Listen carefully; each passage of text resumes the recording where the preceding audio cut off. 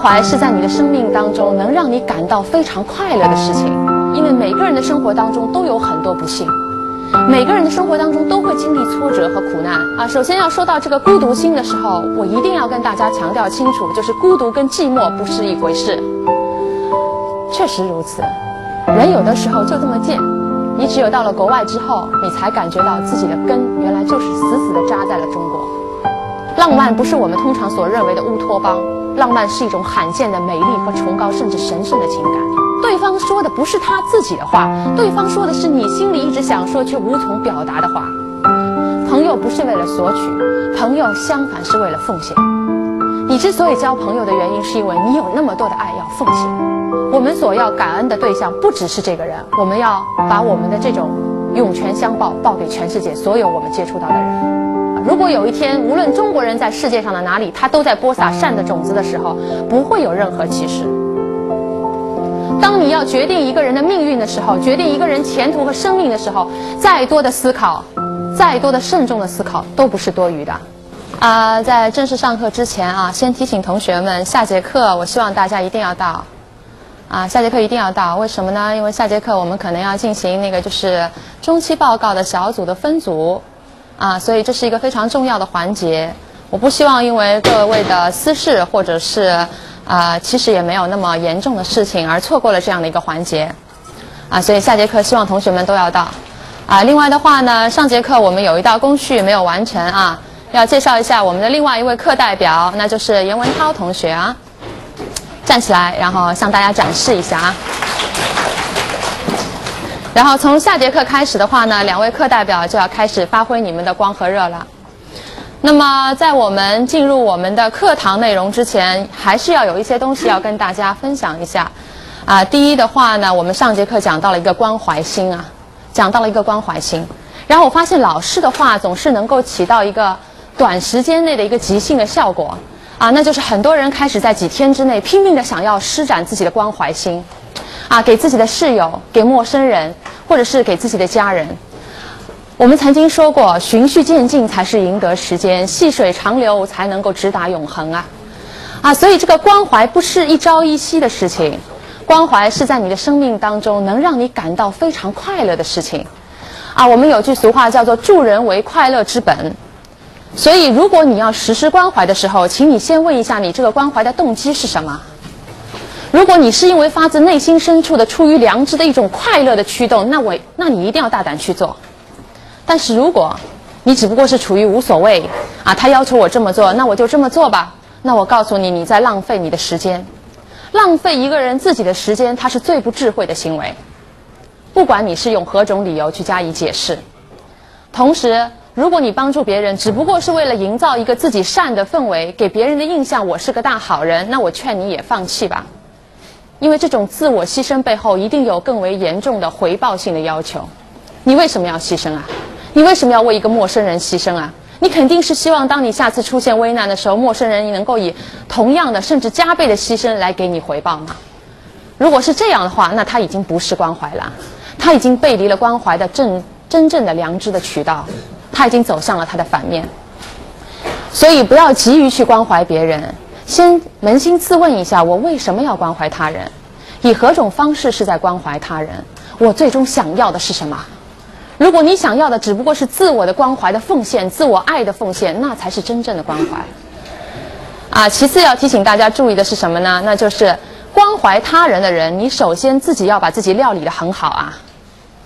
啊，有些同学自己的学业搞得一头雾水。啊，然后男女之间、男女朋友之间那个关系也搞得一塌糊涂，然后这个时候还想给人家提供很多的建议或者忠告。天助自助者，你先把自己给自助好了，然后你自己的生活先要达到一种快乐的圆满的状态，因为关怀是一种付出，只有富足的人你才可能付出啊。你本身就是一个很贫乏的人，本身就是一个各样各项事情一碗水都端不平的人，你怎么帮人家去端平这碗水呢？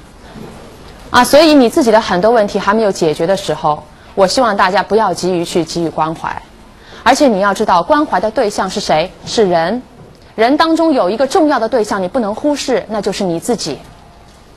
真正的关怀是基于人的人性的平等，所以你关怀他人就跟关怀你自己是一样的。啊，耶稣告诉我们说是爱人如己嘛。什么叫爱人如己？就是我爱别人，就像我爱我自己一样。那这句话有个前提，就是你真的是爱你自己的。自爱跟自私不是一回事。自爱就是对自我的一种保重，自爱重视的是对自我的性格、对自我的发展的一种认可。只有在这种情况下，你才可能给别人关怀。你对自己的种种生活状态都达到一种厌恶的状态。啊，自己在做的让让你觉得很讨厌、很不幸的事情，这个时候的你根本就是背离了自爱，你怎么可能知道如何去关爱他人呢？所以你要关爱别人之前，你要先学会关爱自己。你只有懂得什么对自己是好的，你才可能知道什么对他人是好的。你只有学会了自爱，你才有可能真的真正的去关爱他人。啊，所以关爱其实是一个很深的学问。并不只是行为上的助人为乐，助人不一定为乐。只有当助人为乐的时候，这样的乐你才应该承担，这样的助人你才应该去实施啊！啊，那么今天呢，我们进入下一个环节啊。我们之前说到的是关爱心，说到的是包容心。关爱心里面说到，在关爱的世界里，人人平等。但是同学们一定要注意，人人平等不是指除我之外的他人，包括我自己在内，也是属于我要关爱的一个对象。人人平等，我也是个人嘛。啊，其次是讲到了一个包容心。我们说到，你要在包容他人之前，你也要学会包容自己啊。什么样叫做包容自己呢？那就是要原谅自己曾经应该做而没有做的事情，同时要学会包容自己的命运。包容你的生活，因为每个人的生活当中都有很多不幸，每个人的生活当中都会经历挫折和苦难。这个时候，如果你是处于烦躁的状态，处于对抗的状态，我告诉你，一旦对抗就出现不自由。你可以体会一下这句话的意思：当你跟一个事物去对抗的时候，你已经让你自己不自由了，因为这个对抗本身对你造成了一种束缚。而当你跟一个对象去和解的时候，你是真正达到自由了。真正达到自由了，因为对抗的时候，你的很多力量的实施，并不是因为你自己的需要，而是因为要统摄对方。但是等你跟对方和解的时候，你彻底解脱了这种对抗的关系，你才能够自如我所示，如其所示。啊，所以这才是一种包容。你要跟生命当中的各种不幸包容，当然也跟自己的幸福包容。哪怕有朝一日，因为我不知道我们会怎样，有朝一日如果我们身上发生了厄运。如果我们身上出现了不可治愈的疾病，有这个可能啊，因为在过往的历史当中，复旦的同学当中都有啊。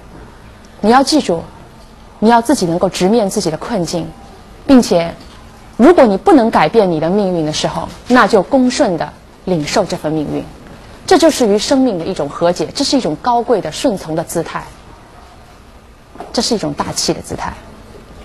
啊，今天我们要讨论一下的是一个孤独心。啊，首先要说到这个孤独心的时候，我一定要跟大家强调清楚，就是孤独跟寂寞不是一回事。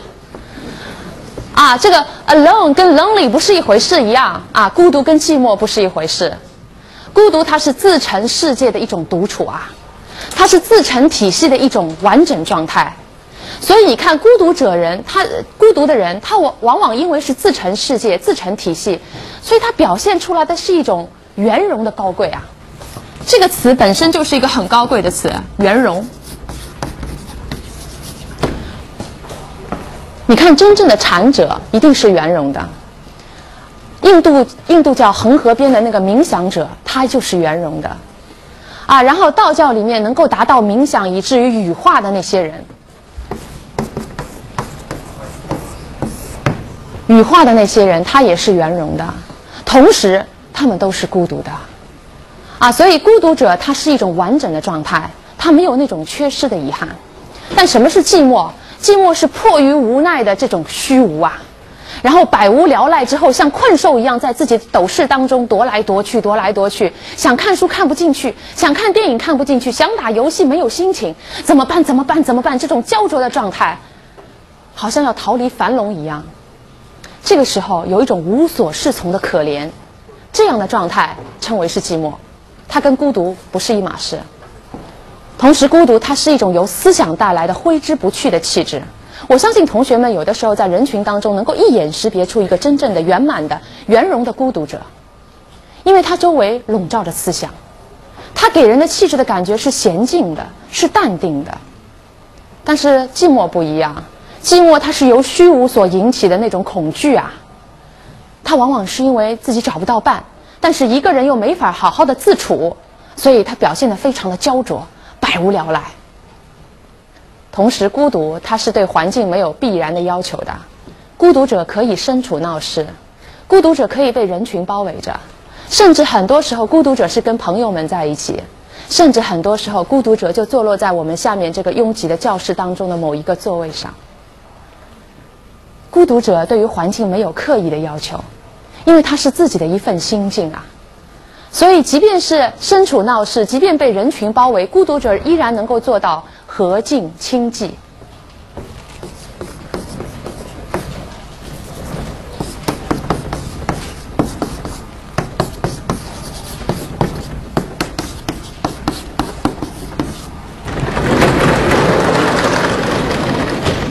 无论何种环境，它可以与环境相和谐；无论周围是怎样的人群，它可以表保持一份恰到好处的尊敬。但同时，这绝对不影响他个人的清寂。清是清静，寂是冷寂。这四个字“和静清寂”是日本茶道的精神。日本茶道的精神，你要知道，真正的茶道，如果你把它以为只不过是一套仪式，啊，只不过是一套服饰，或者只不过是一套人们表现对于茶的敬爱的一种形式的话，那么你实在是太低估茶道了。茶道，茶道是茶的道啊。道是什么？是真理。道是什么？真理是什么？是精神。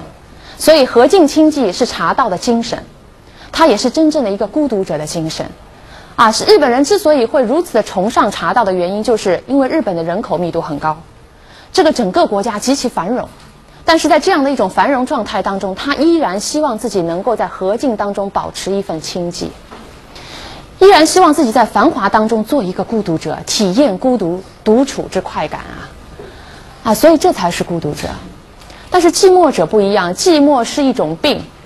当你感觉到自己是寂寞的时候，你生病了，你这个时候是需要的药方啊。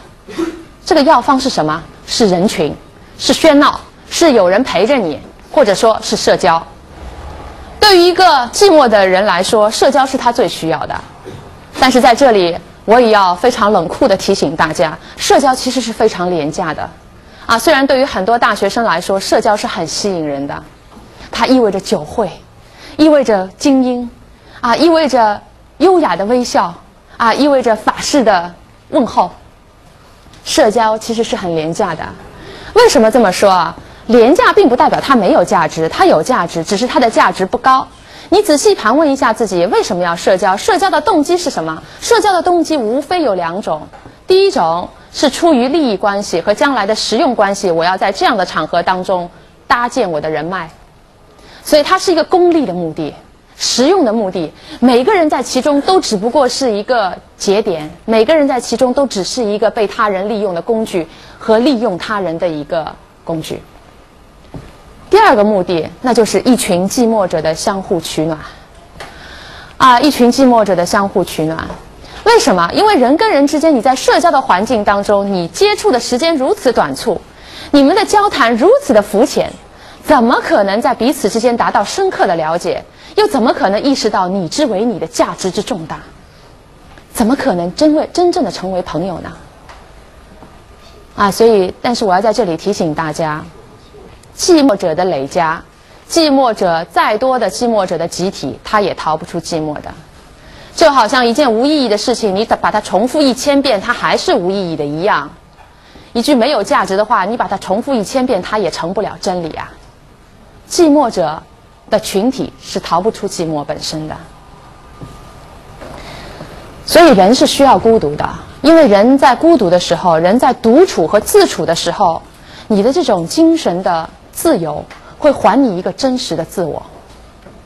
同学们要知道，我们真正属于自己的时间是非常非常少的。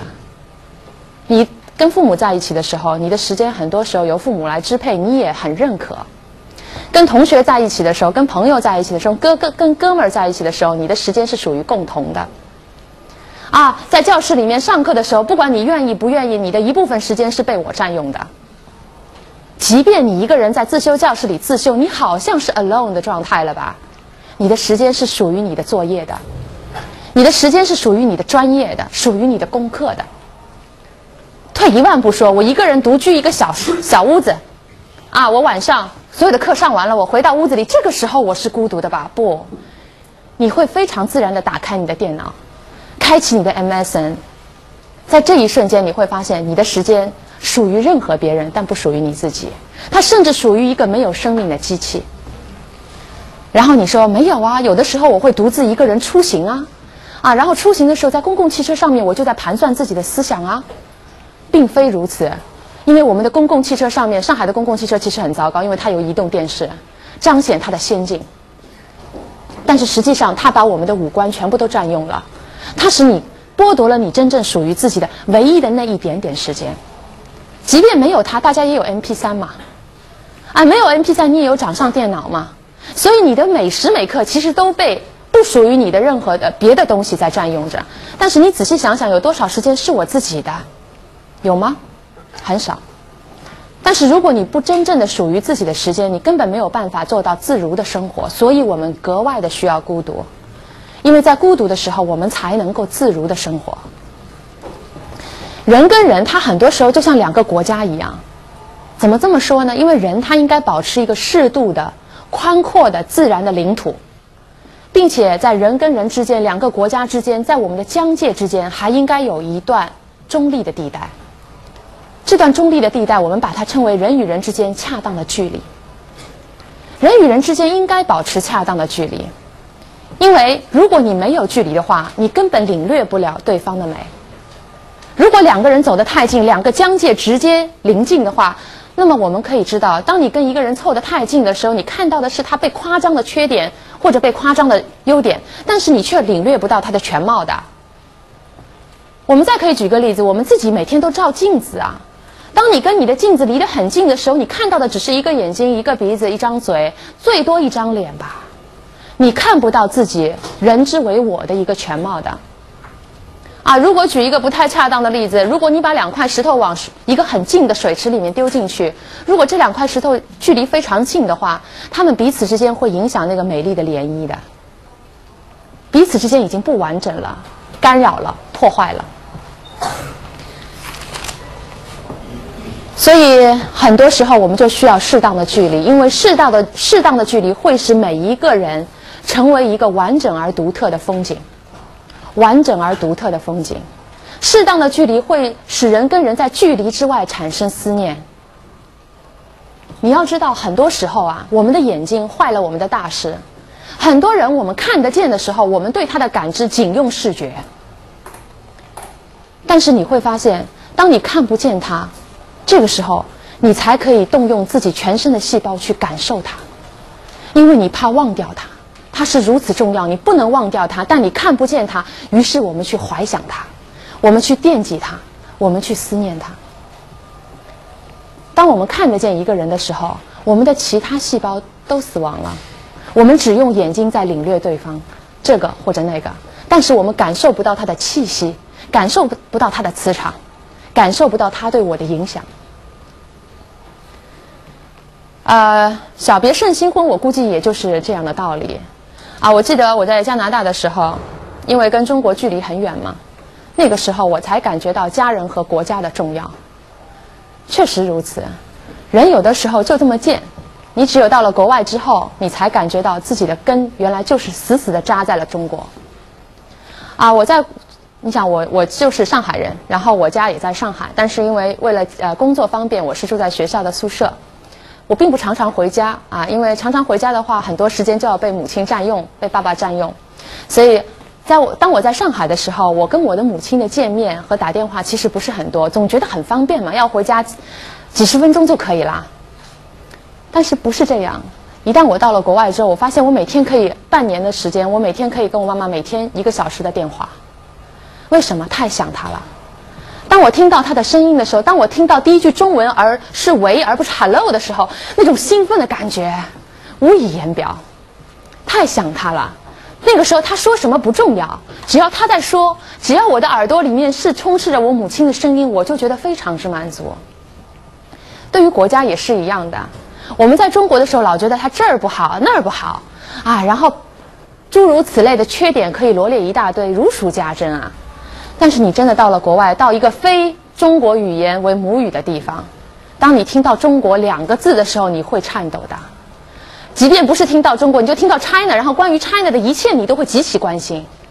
啊，有谁说一句 China 的不好，他就立刻变成了你的敌人。啊，然后因为我在神学院里面学习，神学院里面就有这么一个大的礼堂，礼堂的前排就是我所站的地方，是各个国家在神学院里的学生的所有的国家的国旗。然后当我们在神学院里面做那个就是开会，开完那个就集体会议之后，每一次每周有一次嘛。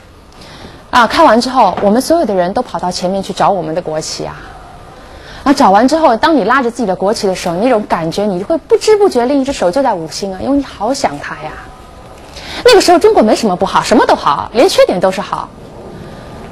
这就是一种距离产生的一种思念，这是我们身在其中的时候最容易忽视的感觉。啊，以至于我我的几个同学其实很喜欢加拿大温哥华。如果让他们再在再在那里待上半年或者一年的话，他们会很乐意。但是我记得我几乎是逃回来的，逃也似的回来。啊，那儿的空气非常好，水果非常好，啊，天高云淡，蓝天白云。但是那不是家，你没有这种家的感觉，你总觉得你做任何事情都会碰到一个天花板，这个天花板就是没有家的感觉。有一种不着不着调的没有根的感觉，所以当我坐飞机坐了很长时间回到上海之后，下了飞机到了浦东机场，一出这个飞机啊，我就看外面灰蒙蒙的天，拥挤的人群，哎，当时我心里就在想，就让我死在这个垃圾很多的地方吧，就死在这儿了，因为这是家呀，我终于回来了。这个时候你不知道，要不是周围有这么多人，我很想跪下来闻一闻这个机场啊。那是我的家，我回家了。所以很多时候，这种距离就让我们产生了这样的爱，距离产生了这样的思念。但是你要知道，距离使人感觉到孤独，但是拥挤它会使人与人之间丧失敬意。啊，你看啊，我们每天都穿梭在拥挤的街道上，我们在拥挤的教室里上课，啊，我们排着队拥挤的在食堂里面吃饭。然后等到我们外出的时候，在地铁里或者公共汽车上，拥挤的自己很难保证自己堂堂正正的站姿啊，啊，每次都是熬造型熬得很辛苦啊。因为我在那个就是本科的时候，我做过一份兼职，是在淮海东呃淮海东路上面的一个报社的记者。然后那个时候去做兼职的时候，你要知道，从那个复旦到那里有一有一部车，但是这部车因为路线长，所以每次人都特别多。而且我去的时候肯定是上班高峰期嘛，因为我也是去上班呐。啊，我每次上车的时候都觉得好像自己要去做一个咸鱼罐头里头的一条咸鱼一样。同时，最严重的一次是，他的车总共开了一小时，然后我的脸贴在玻璃上贴了一小时，就这样子。然后等到我下车的时候，我第一个感觉就是我的脸还对称吗？你就这个，你就觉得这已经凹进去了。哎，所以很多时候啊，我们就在一个拥挤的环境当中，这样的拥挤的环境，不管你愿意不愿意。人与人之间都在互相干扰，都在互相打搅。就像我们的这个长条的桌子啊，有一个人在抖脚的话，你这一个长条的桌子你都会受他的干扰。正因为这样的拥挤，所以才使得人与人之间你就缺失了敬意呀。而且正因为我们不断的需要与人讲话，不是与同学讲话，就是与室友讲话，不是与室友讲话，就是在 MSN 上讲话。正因为我们不断的需要与别人讲话，所以我们很少有时间跟自己讲话的。正因为我们不停的被人包围着，被人群包围着，你要知道，常常出现的东西就会让人产生审美疲劳。所以我们很多时候总想找一个什么远离喧嚣的地方。为什么？因为我们对人产生了疲劳，我们对人、对人性、对人的精神产生了严重的疲劳，失去了儿童般的纯真的好奇心。而且拥挤很多时候它会带来喧闹，喧闹剥夺了我们的宁静，剥夺了我们的闲情。但是你要知道，人只有在宁静的状态当中，他才可能以闲情去欣赏他人之美，去欣赏生活之美啊。所以我们比任何时候更加需要孤独，更加需要孤独，因为只有当你不需无需无需迫于无奈的跟人对话的时候，你才能够恢复跟自己的对话。只有当你不需要跟别人打交道的时候，你才会真正的跟自己打交道。但是人一旦跟自己对话的时候，人跟自己打交道的时候，人就是自我反思啊。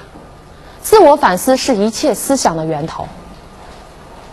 你要知道，人他是在跟自己的反思，呃，在思考自己，而不是思考他人的过程当中产生了智慧。人也是在自我批判，而不是批判他人的过程当中展示了你的勇气。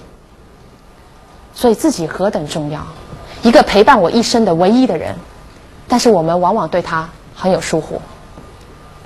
那这就是一个孤独的重要性。接下来我们要讨论一下很多人对于孤独者往往产生的一些误解。我们其实讨论过很多误解，比如说快乐跟开心之间是有区别的，比如说浪漫并不是我们通常所认为的虚伪，啊，浪漫不是我们通常所认为的乌托邦，浪漫是一种罕见的美丽和崇高甚至神圣的情感。啊，我们也要讨论一下孤独者，因为很多人认为孤独者应该是很无趣的，在这里要纠正一下，孤独者往往是极其有趣、极其丰富的人。因为他不是迫于无奈而陷入寂寞，这是他自我选择的一种自我消遣方式啊！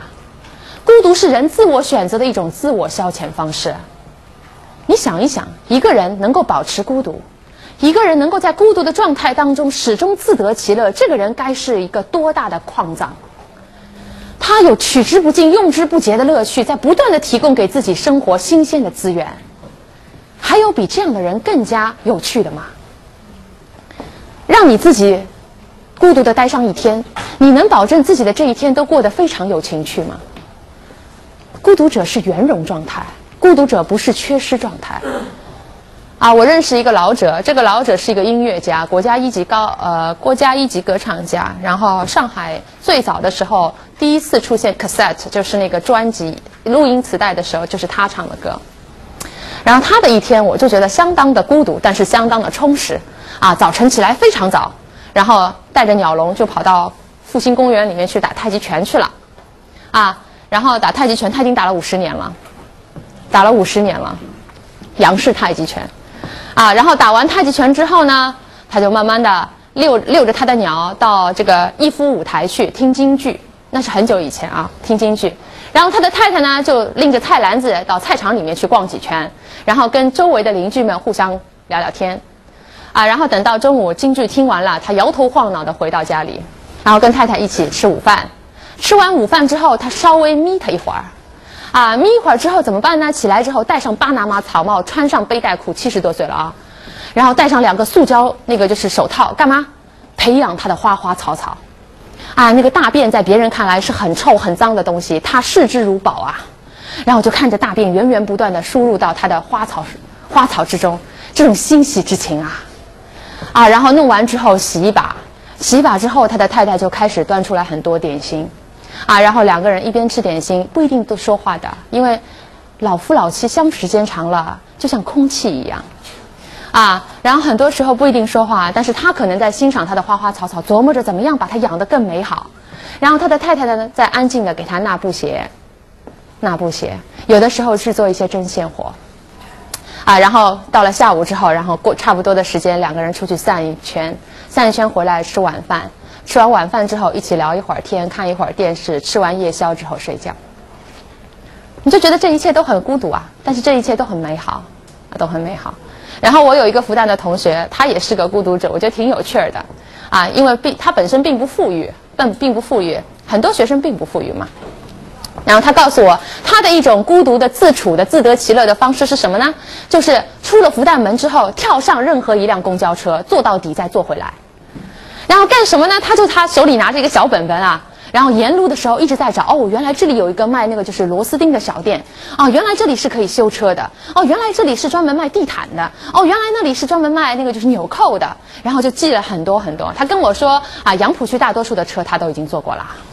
啊，然后他有的时候还记个站什么的，所以有的时候在 BBS 上面有人问这个 traffic 的时候，他以前是呃他已经毕业了啊，以前他在这儿的时候，有人在问 traffic 的时候，他总是会立刻就冒出来，因为他是经验之谈嘛，啊，所以很多时候他不是上海人，但是他比我了解的还要多，这也是一种自我消遣的方式，所以孤独者不是沦于寂寞，他是自我选择的这种消遣方式，自得其乐，同时。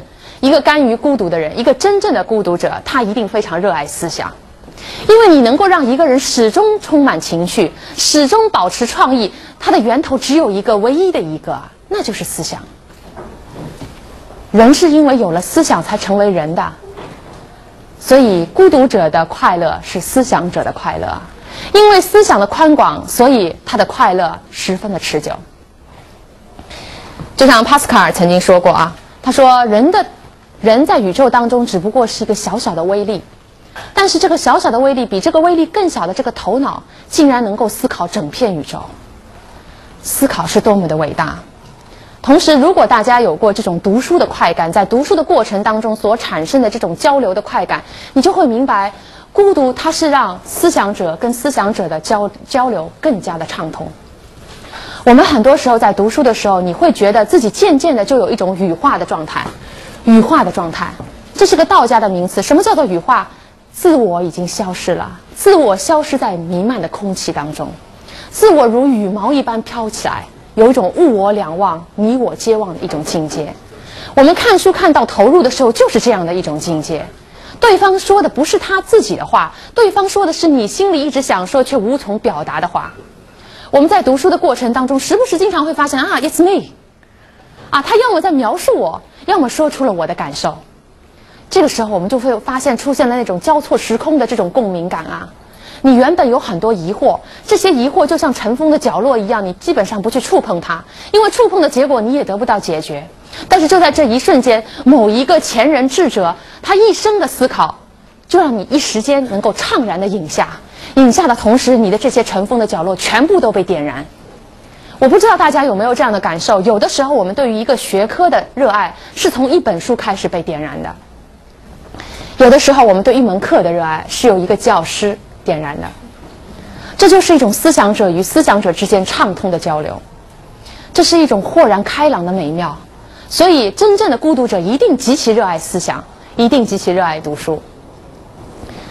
同时，孤独者应该也喜欢冥想吧？应该也喜欢冥想，因为很多时候我们在冥想的过程当中，我们是在与自然对话；我们在冥想的过程当中，是在与自我的心灵和灵魂对话。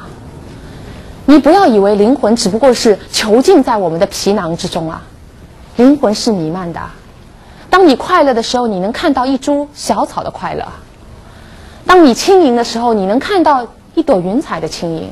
因为我们的灵魂是弥漫的，所以当我们在冥想的时候，我们这种就是与自己的灵魂在进行交流，让自己的灵魂能够弥漫的更远，能够过得更自如。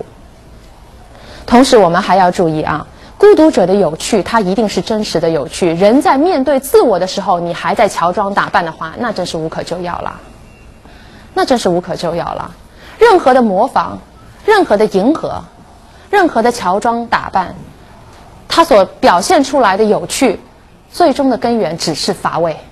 因为他的真实无法有趣，所以他不得不用一种模模仿或者是迎合来使自己显得有趣而已。但显得只是显得，他跟真实相去甚远。你会发现，人一个人在自处的时候其实是蛮真实的。你一个人在宿舍的时候，你肯定是想干嘛就干嘛了。突然间有一个人闯入了你的生活，一个室友进来了，你会发现表演由此开始。表演由此开始，因为你不得不要跟他对话，你怕冷场。而这种对话其实是非自然的，是刻意的，这就是一种表演。我们的大城市往往就是充斥着这种虚假的繁华、虚假的快乐和感情上的娇柔造作。我们很多时候互相恭维着，用这种互相的恭维来表现自我的谦虚。啊，我们很多时候互相闲聊着，用闲聊来表现自己的优雅品味、自己的性格的温和。我们取悦着对方，从而显得自己好像也很快乐。我们叹息着。让自己感觉自己很善良，但这一切基本上都是假的，大多数都是假的，因为它是一种自欺欺人，它没有真情实感。在这一些闲聊也好、恭维也好、叹息也好、取乐的过程当中也好，你既看不到思想，也看不到灵魂，这一切都是假的。这就是一种娇柔造作，就是一种矫情。但是你要知道，真实是最高的高贵，真实是最高的高贵。啊，我记得艺术大师林风眠有一句话很著名，他说：“美不分领域，美不分区域，美只有真和假之分。”真的就是美的，假的就是丑的。不管你假的伪装的有多少显得美，而且大家也知道，上海音乐学院前任的一个就是院长，包括是上海音乐学院终身教授周小燕女士，他在家里面就有一个横幅，是自我一个警醒，四个字：以真为美，以真为美。我们不要认为假的可以显得很美，假的还是假的，只有真的才可能变成美。甚至我们在年老的人身上，你要知道，有很多现实主义的大师，他们的艺术作品当中都是表现老人的皱纹、老人的衰弱。你以为他是在展现丑吗？不是的。当我跟我们家的老者在一起的时候，我经常能够感觉到他们的脸，因为他们的一些衰老，反而出现了更加柔和的线条。同学们，我们都很年轻，我们的线条是饱满的，我们的线条有棱有角，但他们的线条是如此的柔和。而且他们的皱纹，有的时候你如果细看，你会觉得很奇妙，啊，为什么？你会觉得自然的这个刀工真的是不错啊，啊，能够根据人的年龄，能够把人的这个皱纹如此精巧的表达出来。所以很多时候你要知道，你想想看，一个很衰老的女子啊，一个很衰老的女人，如果她还在进行浓妆艳抹的时候，你不会认为那是美，有的时候她展示的反而是种可怜，展示的反而是一种人性的悲哀。所以，真实才是最高的美。美只有真和假之分，没有何种领域之分。而且，我们知道真善美，真善美，真是善和美的一个前提。如果你没有真的话，善，你想，如果你没有真，这个善也是伪善；如果你没有真，那么这个美也是假的美。所以，很多时候，这个孤独啊，就是要帮助我们在冷寂当中去寻找一个真实的自我。我们中国人很多时候是没有这种祈祷、祷告的这个传统的。我们认为那是一种宗教的信仰，一度我也这么认为。但是我后来在跟那个就是别人在接触的过程当中，我发现你未必需要从一个宗教的角度去理解祷告。祷告是什么时候？什么意思？祷告是很多时候就是自己跟自己对话，自己对着一团虚空对话，在深夜的时候，在四下无人的时候。在面对一片黑黢黢的、黑漆漆的夜晚的时候，你与自我对话，这种对话绝对是有很多好处的，因为这是一个自省、反观自、反观自身的过程。在这个过程当中，你看到了你很多你曾经忽略的东西，而这些东西也许对你的性格的塑造来说是极其重要的。啊，所以很多时候我们可以借用这样的一种方式来实现一种自我在沉默当中的冥想。这种冥想就是自我与自我的对话，这是一种无声的祷告。同时，第二个要纠正的是，很多人认为孤独者是没有朋友的人，啊，这个绝对是滑天下之大稽呀。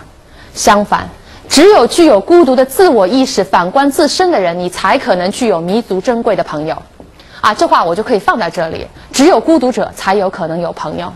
我会进一步做解释。同时，在此之前，先得纠正“朋友”这个词的很多的滥用啊。这个词已经被太多的滥用，被太多的误用，以至于我们一脱口就能说啊，我们是朋友吗？谁跟你是朋友？你经过我的允许了吗？就把我视为你的朋友。所以在这里必须要将“朋友”这个词进行一下纠正。第一，朋友不是酒友，朋友不是玩伴，朋友不是你寂寞时候的慰藉者，朋友不是你精神的庇护所，朋友不是你为了任何的功利原因搭建起来的人脉人桥。如果有一个人在公开场合，或者是跟你两个人在私人场合，他能够很轻松的在跟你没见了几次面就说啊，我们是朋友吗？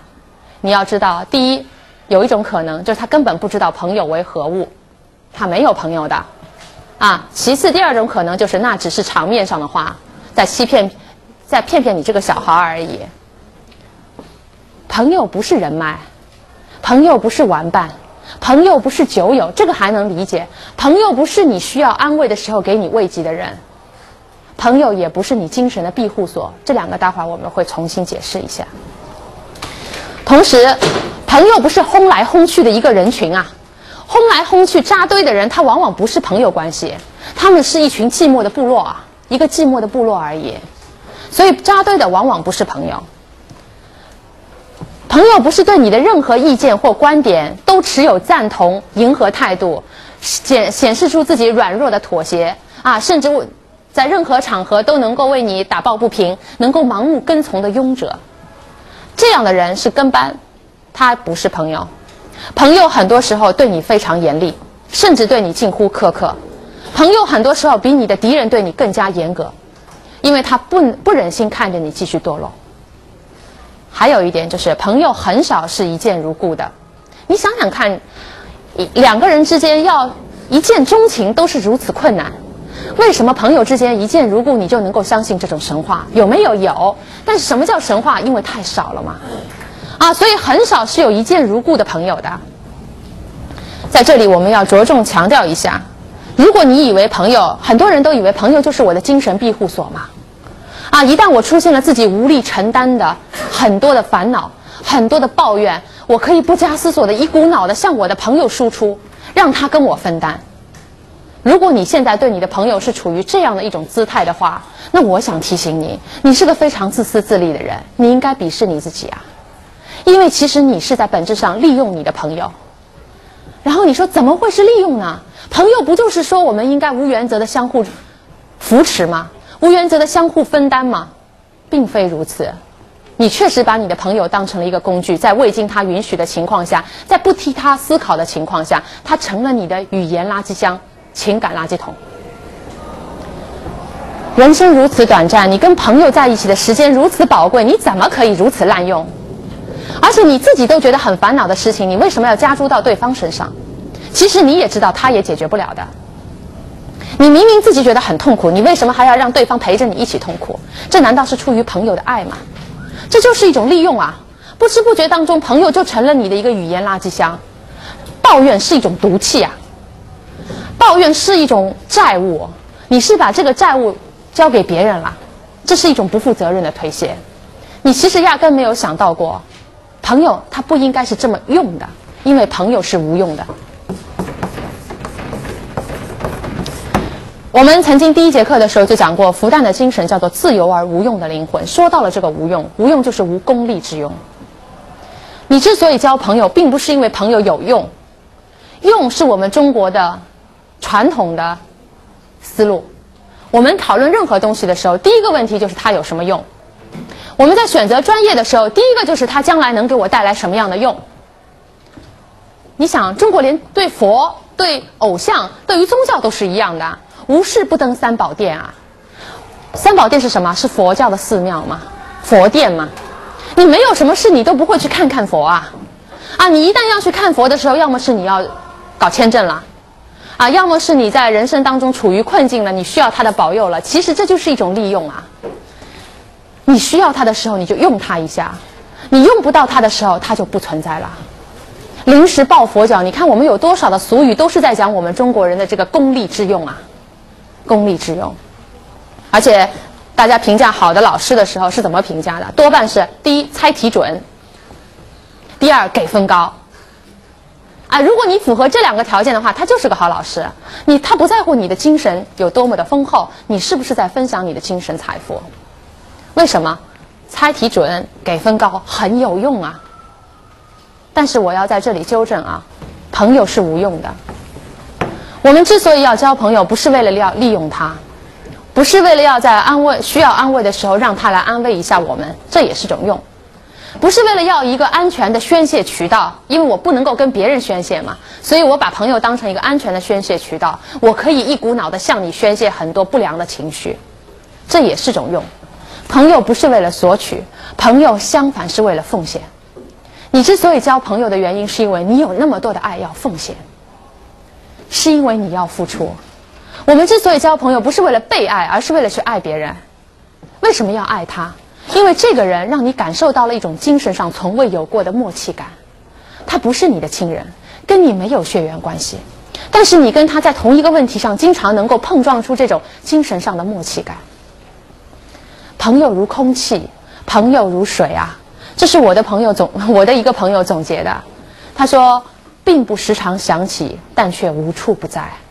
这就是朋友带给我们的一种同在感，这才是真正的朋友。而且人有的时候很奇妙，当你真的在实际生活当中出现危机的时候，很多时候你不会找朋友帮忙，你反而找一些跟你利益关系比较清晰的人帮忙。我们很少会向朋友借钱。我们会很少会让朋友帮我们找工作，我们很少会让朋友出面去解决很困难的、去撸平很困难的困境。为什么？因为友情跟爱情一样，它是如此的晶莹通透，它是如此的纯洁美丽。你有的时候真的是不大忍心、不大希望，因为我个人的原因，在不必要的情况下，让你的朋友承担起一些功利之用。我们之所以交朋友，是因为爱，爱他就不要在不必要的时候给他带来麻烦。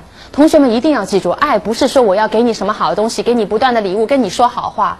爱他就不要给他制造麻烦，爱他就不要让他多为你操心。各位相信是都是很爱父母的。你真的爱父母，这个爱的原则也同样适用。爱你的父母最关键的一点，不要让他们替你太操心，不要在不必要的时候增添他们的烦恼。对朋友也是一样的。我们对于自己爱的人，我们通常都不愿意让他承担任何的功利之用。我们对于父母也是一样，很多时候我们不希望父母出面帮我们撸平很多的困境，因为他们为我们做的已经太多了。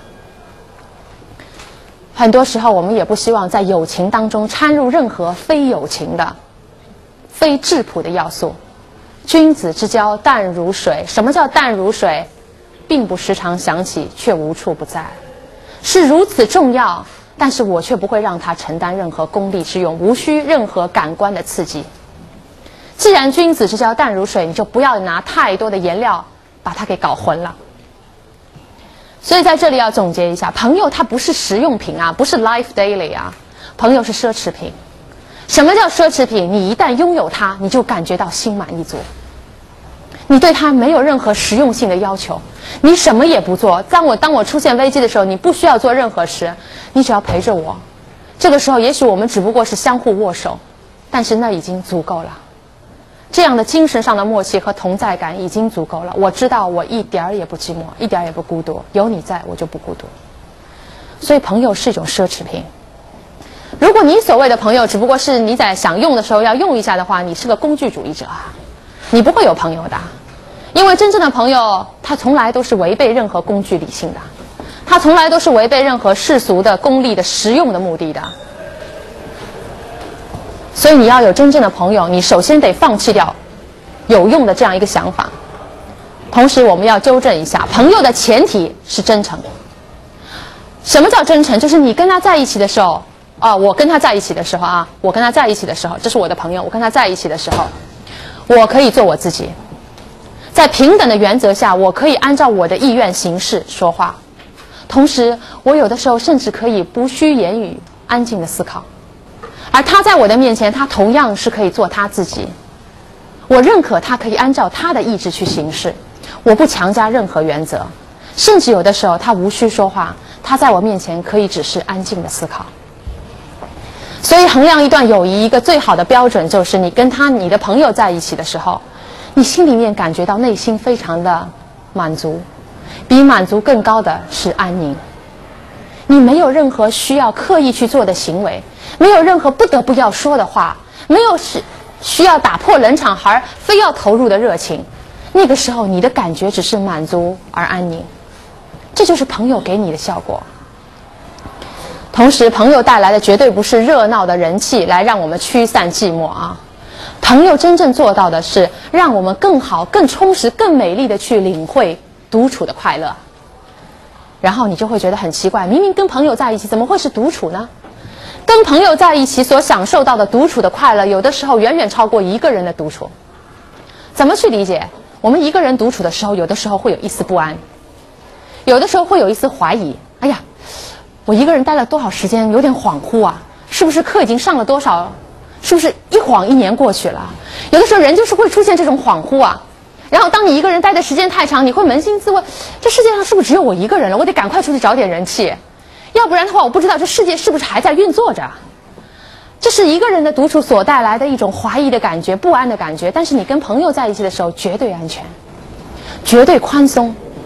你们之间是如此的安宁，啊，你们之间是如此的切切合、契合。你跟他在一起的时候，有的时候无需语言的交流。同学们要记住，人跟人之间的交流，语言是最低档次。当人需要说话才能够沟通的时候，你们俩的关系很远。说话的声音越大，你们的关系越远。所以，人跟人之间的交流的最低档次是语言。真正两个人关系非常亲密，两个人达到你知我知、你侬我侬的时候，一个眼神足矣，一个握手足矣。所以，你跟真正的朋友在一起的时候，你无需语言的交流，你无需刻意的任何矫饰，你无需动作，因为朋友他就是健康而安宁的空气。你跟他在一起的时候，安静但不冷清。所以，朋友之间，它是由于一种信赖，由于一种相互的了解而构构成的一个轻松的、宽松的氛围。哎，在这里要介绍一个概念，叫做理解的同情和同情的理解。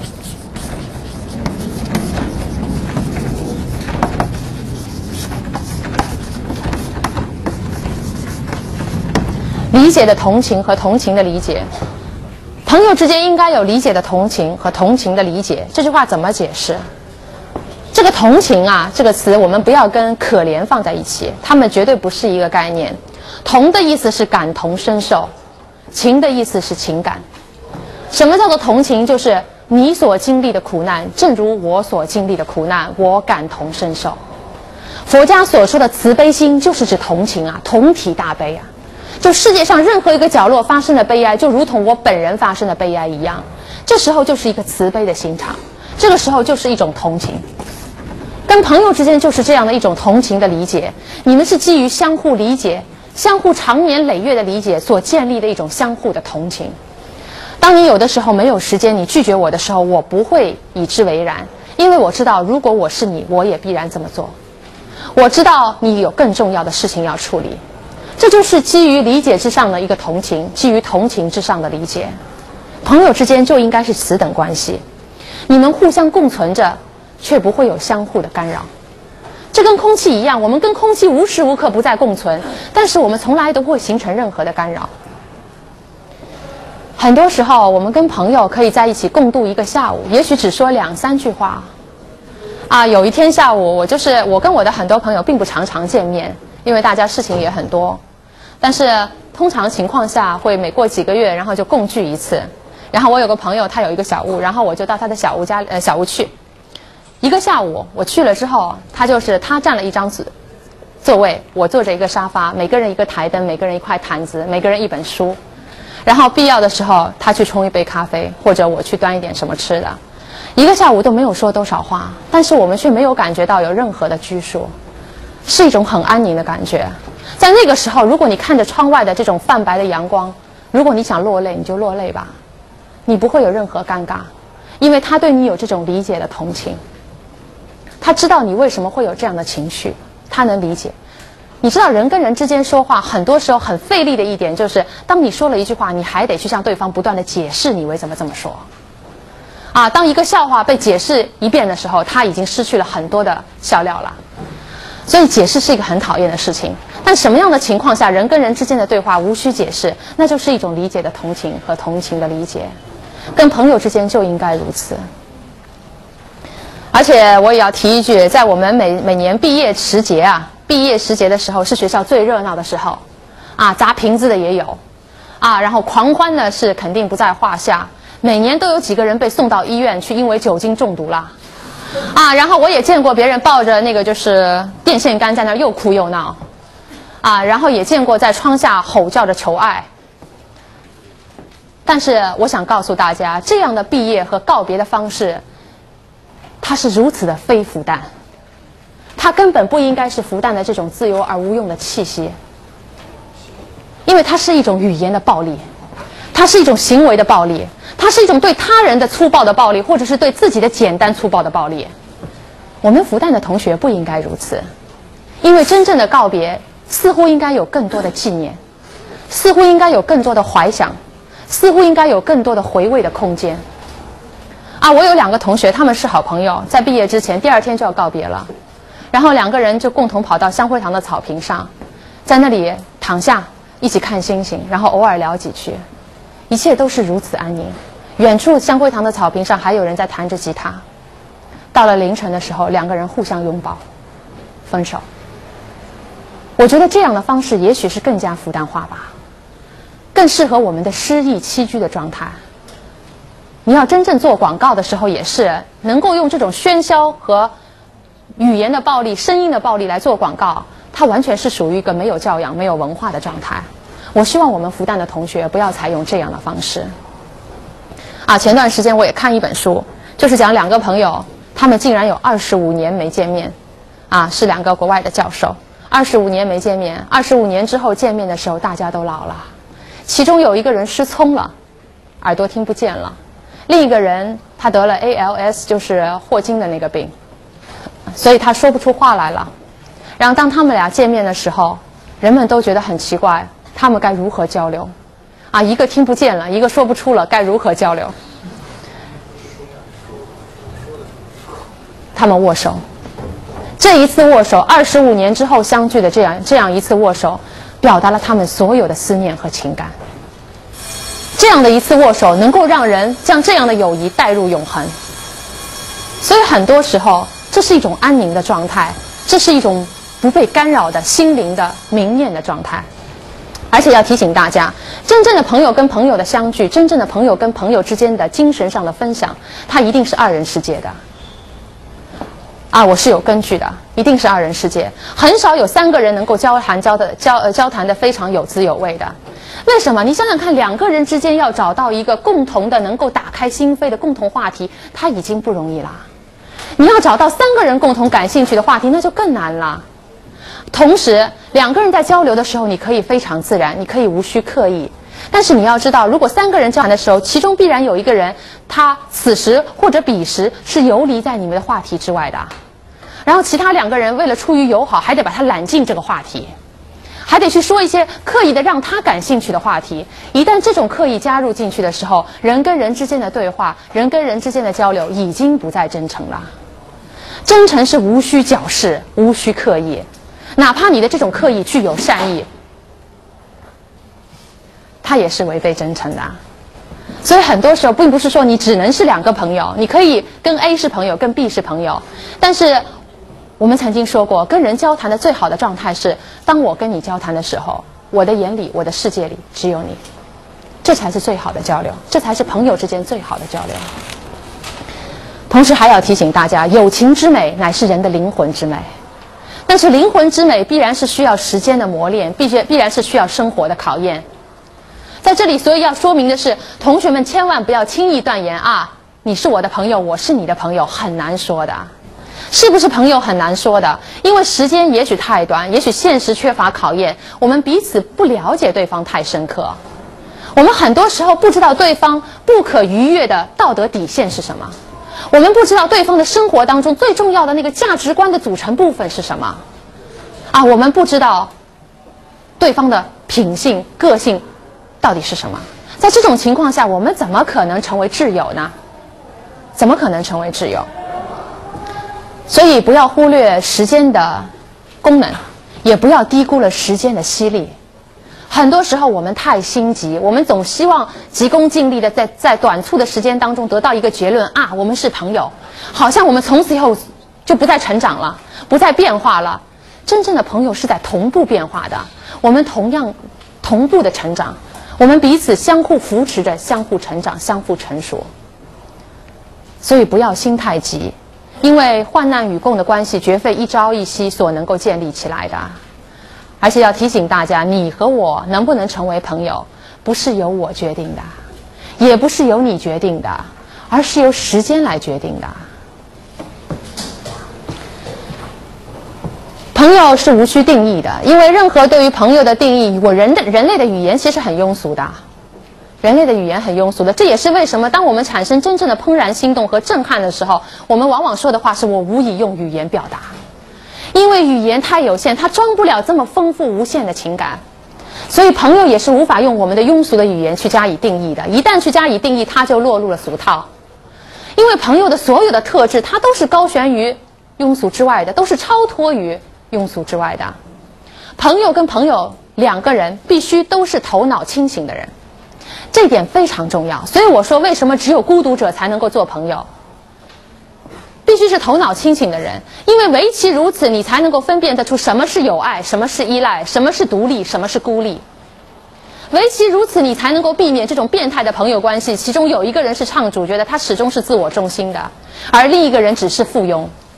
在朋友的关系当中，两人都平等，相互扶持，没有主角，没有配角，从来不存在朋友当中谁是陪衬人。一旦出现陪衬人和主角、配角的分分类的时候，你们的友谊已经陷入了一个僵局。同时，朋友双方是绝对不会用友谊来相要挟、用友谊来相约束的。我们为什么要找朋友？如果朋友是让我们变得更不自由，而不是更自由，那我们为什么需要朋友？要知道，朋友的最终概念在于，它让你变得更自由。它让你在了解自我的基础上变得更自由，而不是更不自由啊！所以你不要认为侵占朋友的时间是一个无关紧要的事情，它也是一种罪恶。因为你应该视他如你自己，你不愿意别人来侵占你的时间，你何以去侵占他的时间？所以有的人不能理解，朋友之间见面要预预约一下，你当然应该预约一下。你怎么舍得打乱你朋友预先安排好的一个时间的计划呢？朋友之间不应该是以这种友情来相互约束的。我们帮助着彼此更了解自己，了解对方。同时，当我们了解了对方的真性情之后，我们要竭尽全力去呵护他、捍卫他、保护他。但是，保护的同时，我们不要求对方有任何回报，甚至不需要有任何回应，不需要有任何回应，这才是真正纯真的友谊。同时，友情跟实用无关。再次强调，朋友是无用的，它跟功利无关，跟实用无关，它不需要高尚而真挚的情感之外的任何要素，不需要。唯有高尚而真挚的情感是朋友的一切基础和唯一的基础。朋友会毁于一切的友谊都会毁于虚伪。一旦你开始矫饰了，一旦你开始虚伪的表现你自己了，你们的朋友的关系结束了。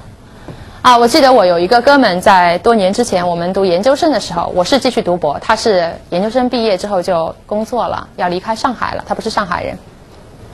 然后我们两个在师大学校里逛啊逛，作为一种告别嘛。然后这个时候，他突然间说：“明天我要离开了。”他陈果，我能不能跟你拥抱一下？啊，是个男的。然后当时的时候，他说完这句话，他就后悔了。他说。哎呀，我其实是不是这个意思？你不要以为我是什么什么那那个啊，我其实这个啊，其实不拥抱也没什么。然后他在那儿非常非常急躁的在那里解释着。然后这个时候我一把把他拥抱进来，然后我在他耳边说：“要工作了，希望你一切都好。如果不好了，记得还有我在。朋友之间无需虚伪，无需矫饰。你想要什么，我当然知道。然后我是足够了解你的，我怎么会把你当成个坏人呢？”你是我的朋友，我就不再怀疑你。所以在成成为朋友之前，相当严格的怀疑是必须的。而且，朋友他并不会真正的取消孤独。大家不要以为友情跟孤独它是相互矛盾的。朋友不会取消孤独，朋友只是教会你更好的去领受孤独，让你孤独的时间不再觉得真的冷冰冰的。因为有朋友的这种默契感、精神的一个同在感，你的孤独是一种温情的状态，你的孤独是充实而美丽的状态。同时要记住，孤独不是一种姿态啊，孤独是一份真正的境界。所以你要知道，真正的孤独者，他不是要找一个什么僻静的角落啊，学校里满世界找，找一个僻静的角落，然后来实现我的孤独。你明明知道孤独是心灵的一份诗意的栖居，明明是心灵的事情，你的手跟脚再怎么动也没有用的。所以，孤独不在于你找到何种角落，真正的孤独，你哪怕是在人群当中，你都是一个急流当中的浮木，一块急流当中的浮木，你都是一个沙漠中的托钵僧啊！大家有没有看到过沙漠中的托钵僧？浩瀚的沙海当中，孤独的一个行者，行者。所以，孤独跟什么特定的角落没有任何关系，而且孤独也许在很多时候固然表现为沉默，但是孤独跟沉默没有必然关系。我们不能够给真正自得其乐的孤独者下一个定义，因为孤独者是思想的流浪者，精神的流浪者。你不要以为通过，因为我经常在学校里面看到有些男生嘛，穿着垮垮的，然后抽起一支烟来，然后用这个烟。烟的这个烟团来营造自己的孤独的气氛，啊，然后我想告诉大家啊，无论是抽烟也好，那个饮酒也好，他都是通过一种麻痹的手段，或者是一种摆酷的手段，来达到一种孤独的虚假的表象。孤独是精神的、思想的流浪者。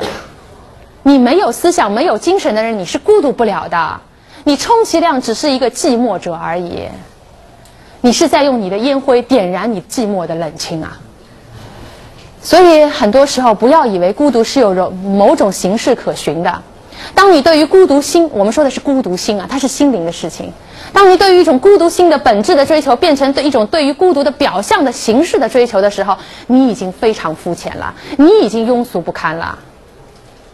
同时还有一点要注意，孤独它绝对不是我们刻意要培训自己，让自己具有思想、具有某种气质啊，忧郁的气质、贵族的气质、孤独的气质。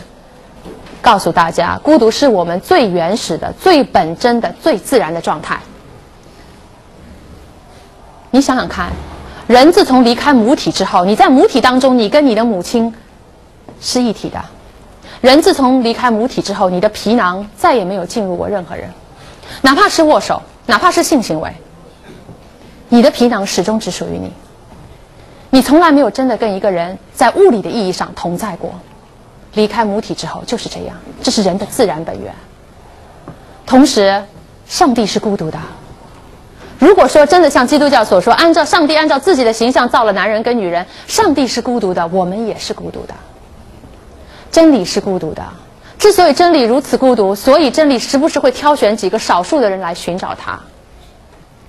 即便我们认为我们所生活的这个热闹而繁华的地球，它在宇宙当中，它也只是一个孤独的蓝色的小点啊，淹没在一片静默当中。孤独是我们的命运，但是你不要认为这是个很糟糕的命运，啊，因为当我们的命运不可扭转的时候，我们能做到的是顺从的、恭敬的领会它。很多时候，这种命运其实是很幸运的，因为你会发现，世世界上所有的思想者千奇百怪啊，千姿百态，但是他们都有一个共同的特质，那就是他们都是在心灵上孤独的。而且我们之前也分析了，孤独者不代表他无趣，他是极其丰富有趣的；孤独者不代表他寂寞，他有着最诚实可靠的朋友。但是思想，它一定是源于孤独。如果你看过梭罗的《瓦尔登湖》，你会发现他刻意的在寻找着孤独。啊，他的那个瓦尔登湖是在一个小岛上，最近的一个同类啊，人类离他也要有一英里啊。他在这样的一个小岛上，住在自己用木板、木头营造的这个小屋里面，住了两年零两个月，然后写了《瓦尔登湖》。同时，卢梭也有本很著名的书，叫做《一个孤独者的散步》。所以，真正的思想它是源于孤独，孤独很多时候是一份恩赐，我们应该感到幸运。啊，接下来我们要讲一下这个感恩心啊。这个世界上它从来都不存在谁谁谁理所应当对我好，没有什么理所应当的爱。这个谁谁谁指的是任何人，尤其包括你的父母、你的爱人、你的朋友，跟你亲密的人。为什么？他为什么要对你好？他对你好的原因是因为他爱你，而这种好，他要端其心而落其行，落到对你的理解、对你的包容、对你的奉献。问题是，为什么一个两个人平等的人之间，一个人就理所应当对另一个人好？不好又怎样？因为你要知道，什么是爱？每一份爱，它归根到底，你把它解构到底，它就是指付出啊。一个人为什么非要为另一个人付出？为什么这样的付出不应得到感激，而觉得是天经地义？任何的爱，它都是一种自我的牺牲，都是一种自我的奉献，它都是源于对他人的关爱。我们这个人世间，我们的人类社会，我们人类的世界之所以还值得留恋，之所以还值得我们去努力和奉献，就是因为我们有爱。这种大大小小的爱，才让我们产生了真正的暖意，让我们感受到了人与人之间。距离之外的那一份亲情，但是我们啊，往往会铭记他人一个陌生人对我们的一点点小小的帮助，啊，然后时时刻刻想要回报他。但其实我们很多时候记不住自己的亲人、自己的家人、离自己最近的那些人对自己的那么好。人既是远视眼，又是近视眼，啊，说他是近视眼的原因，近视眼的原因啊，是因为人类有一个共性，就是缺乏远见。什么叫缺乏远见？只顾一己之私欲，然后只管自己今后的十年、二十年如何生活，从来不管我们的下一代会生活在怎样的环境当中。啊，当我们在用纸巾的时候，当我们在浪费水的时候，当我们拼命在花钱的时候，我们从不考虑过除我之外之外的非洲的人在怎么生活啊。东南亚的人在怎么生活？灾区的人在怎么生活？我们考虑不到，我们缺乏远见，因为我们是近视眼啊。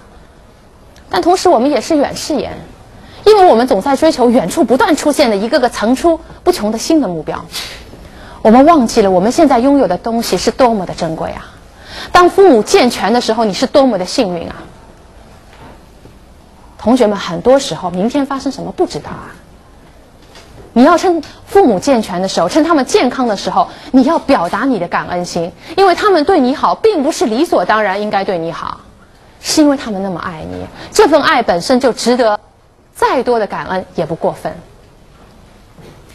人很多时候他其实就是贪得无厌、不知感恩的。啊，我前段时间看到一本书的名字叫做《自私的基因》，我没看过它啊，但我觉得很有意思。哎，这个题目就提醒我啊，人其实是习惯于自私自利的。人其实是习惯于他人对自我的牺牲的。举一个不太恰当的例子，如果有一个人一直端药到你的床边让你喝药，突然有一天他不端了，他帮你烧完之后煎完之后，他说你下床自己喝吧。你那个时候不会感恩他以往一直端药到你床边，这个时候你会觉得他怎么对我不好了？人都是贪得无厌的，我们都是独生子女，我们在家里面习以为常，我们应该用最好的。等到哪一天我们用的只不过是次好的东西的时候，这一次经历就会告诉你的父母有一次对你不好了，而这一次不好在你脑海当中的印象会超过以往的十几年所有的好。人对于自己亲密的人无比残忍，无比冷酷，无比无情。我们现代的中国人丧失了感恩的传统，啊，为什么西方要有个感恩节啊？他们之所以有个感恩节，是因为整个人类都在丧失感恩的传统，而这样的一个感恩节，其实是让你在这个特定的日子 （Thanksgiving Day） 这个特定的日子，你要学会去想一想，点点滴滴在你身边存在的善意。啊，很多时候我我在呃，就是这段时间正好是加拿大的感恩节，再过一个月是美国的感恩节。当时我们中国人不适应感恩节啊，我们所认为的感恩节就是吃火鸡啊。唯一的兴趣就是看到一只大火鸡，然后把它撕下来，很大的肉，其实不好吃。我跟你说，绝对没有中国的那种小草鸡好吃。啊，一只火鸡可以有二十斤重啊，那还叫火鸡嘛？简直是个鸵鸟嘛！啊，然后我们在过那个就是感恩节的时候，我们中国人几个学生嘛，就围绕着一个长桌，这个长桌比这个再长一点。然后这边是两个教授，我们在他家里面过的感恩节。然后过的时候，教授要求我们，因为他是西方人嘛，他要求我们，请大家 close your eyes，啊。然后大家，请你们 hand in hand，手牵手，然后轮流着闭着眼睛去冥想，你要感恩哪些人，然后 speak out，要说出来。啊，比如说我要感谢我的父母，因为什么什么；我要感谢我的导师，因为什么什么。刚开始我非常之紧张啊，啊，你想作为中国人来说，我相信啊，大多数人当时跟我的我的同学跟我的感觉一样，首先要感谢这两位教授，因为你要有火鸡吃了吧？啊，这个是属于我们中国的这个功利之用的。功利之用的传统之下所要求自己必然要做的，但是他们其实并不希望听到这些，啊，然后刚开始我很紧张，因为我们不习惯在众人面前揭开自己的心扉，说出自己的感谢。我们其实从来也没有思考过，我们应该感谢谁，人生至今为止应该感谢谁。但是轮到我了，不得不说的，然后我就开始竭尽全力专注 focus on 啊，然后专注着在思考着我应该感谢什么人。结果我发现。太多人值得感谢了，那些东西永远都停留在我记忆的某个角落里面，我从来不去清扫它，直到有一天碰到了感恩节，我不得不去清扫它的时候，我把它这些翻出来，然后你知不知道这个就有点像衣橱啊，一打开之后哗，全部掉下来。很多时候我们就应该有这种感恩的传统，如果没有这种感恩的传统，我们会把那些点点滴滴的善意都理解为天经地义、理所当然。但实际上，每一次小小的善意，你都应该点滴之恩当涌泉相报。同时，感恩并不只是言谢，不要以为一句谢谢、一句 Thank you，很多时候我说了，人类之间的交流最低的档次才是语言，最高的档次是端其心、落其行，铭记这种善意，同时传播善的种子。啊，我们说过要点滴之恩当涌泉相报。我们很多人的理解是，我受他的点滴之恩，于是我应该涌泉相报的对象是施恩于我的那个人。不仅如此，我们既然感受到了善的力量，并且我们是善的受惠者，我们所要感恩的对象不只是这个人，我们要把我们的这种涌泉相报报给全世界所有我们接触到的人。既然善感染了我们，为什么不我们不用善去感染更多的人？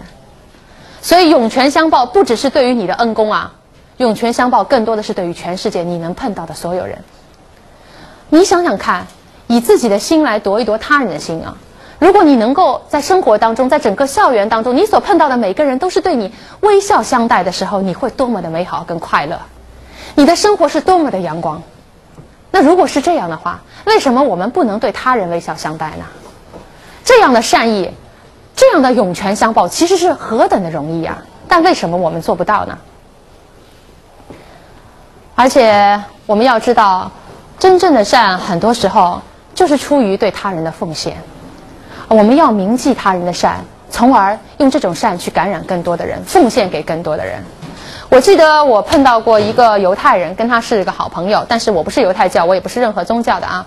然后我跟他聊天的时候，我就有点挑衅他，然后我说啊，犹太人啊。这个你们经历了那么多的苦难跟挫折啊，然后那个时候，Where is God?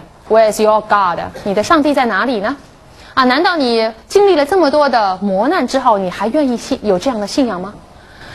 然后这个犹太朋友想了一下，跟我说：“我们确实经历了重重苦难，但是我没什么可抱怨的，因为上帝已经为我们做了太多，他给了我们甚至我们没有没有办法奢望得到的东西。”这是一个高贵的回答。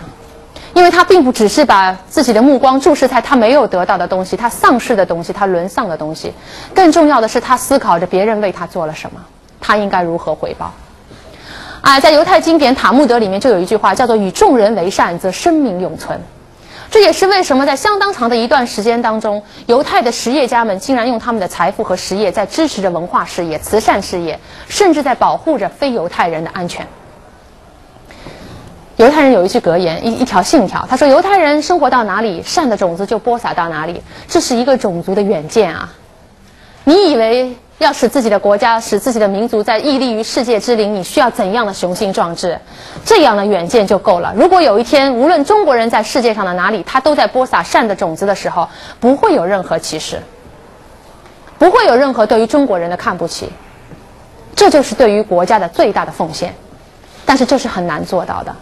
正是因为难做到，所以格外珍贵。这就是一种民族的远见。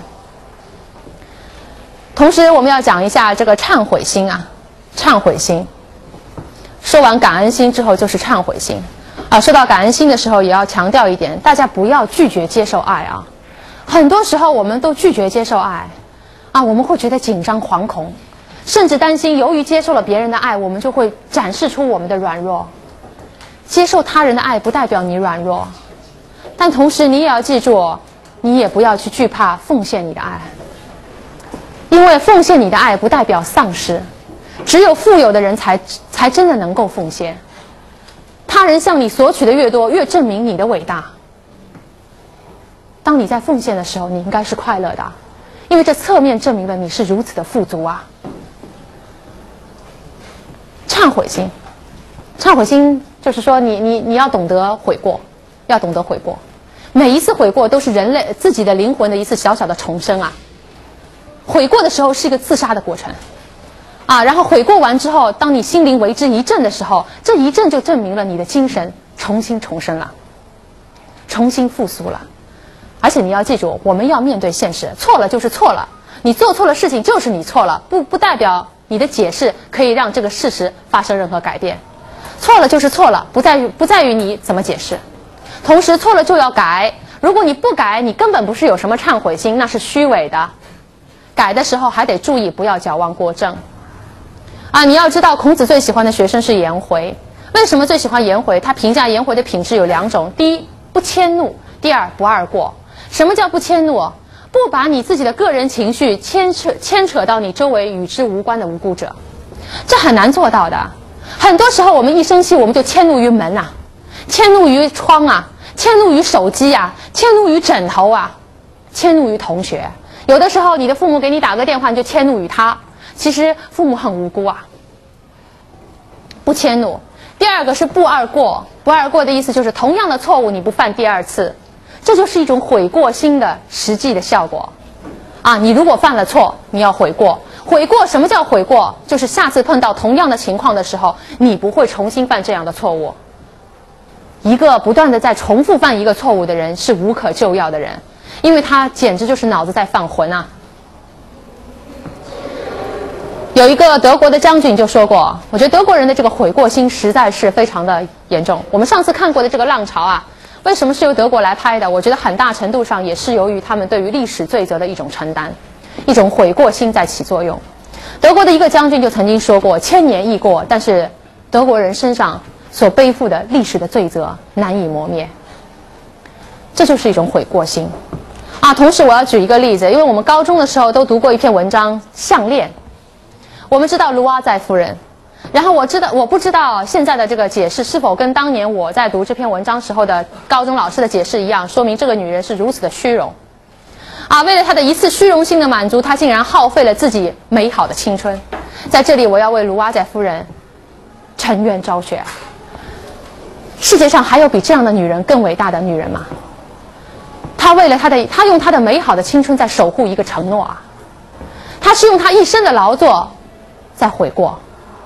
女人谁不虚荣？谁不爱漂亮？我们比她好很多嘛？我们比她更虚荣，她只不过是要一串项链去借了而已嘛？那很多时候，我们可能是出卖的是自己的婚姻啊，然后为的是更大程度的虚荣。这样的虚荣是可以理解的，因为那是女人最自然、最基本的天性。但是它是非常难得的，因为她愿意用她最美好的青春，来保守住她的承诺，去端其心、落其行，实践她的悔过。如果一个女人如此的讲究她的承诺，她是非常高贵的。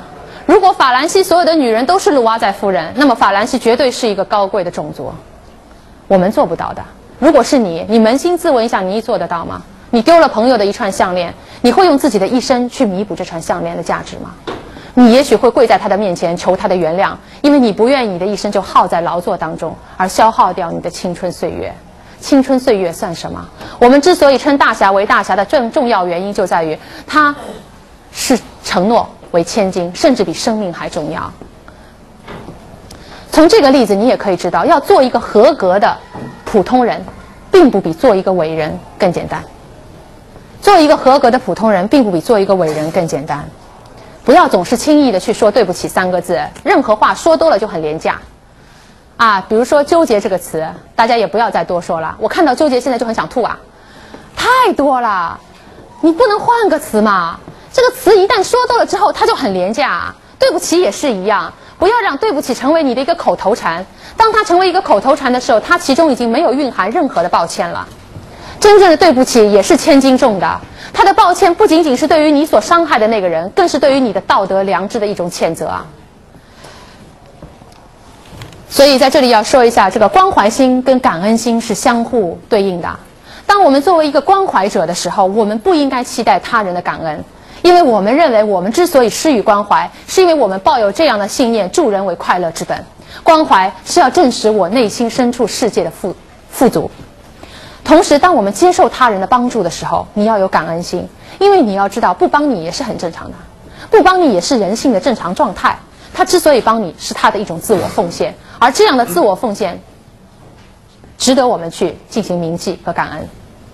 同时，忏悔心跟包容心也是相对应的。当我们在忏悔的时候，你不要期望指对方能够包容你，对方能够原谅你。你如果抱有这样的初衷在进行忏悔的时候，你其实没有任何的抱歉，你只是希望早日使自己摆脱掉对方的指责。这是一种自私的目的，功利的目的。但同时，如果真的有人伤害了你，而这样的伤害在时间当中是可以磨平的，那么得饶人处且饶人吧，不要让别人因为。你的原因背负着沉重的精神负担了却残生，孤独心尤其重要，因为孤独心是一切高贵思想的源头。接下来我们讨论一下学习如何学习学习如何学习思想啊，这个时间并不会花很多。首先我们要知道什么是学习呀，又要去矫正一个词了。这两个词是分开的。学的意思是指模仿和效法，习的意思是指操练和实践。学而时习就是把你模仿来的东西、效法来的东西，不断的投入你的生活的实践，从而从一个外在的标准变成一个内在的习惯和需求，这就是一个学习。所以由此可见，我们现在这种课堂式的这个 lecture 啊讲座，它是退而求其次的糟糕的教育形式。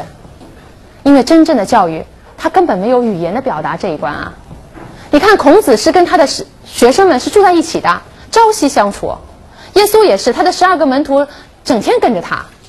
所以，真正的学习是要谋求榜样的力量，真正的学习是要谋求精神的导师。这样的一个精神的导师，用他的言和行来无声的告诉你，平庸和伟大之间的区别有多远。老子也说过，要行不言之教。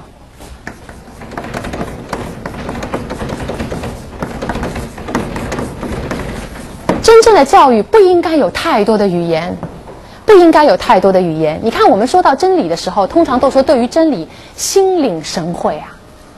这个时候，你的耳朵其实是个多余的东西，心领而神会，啊，可意会而不可言传，这就是真理性的东西。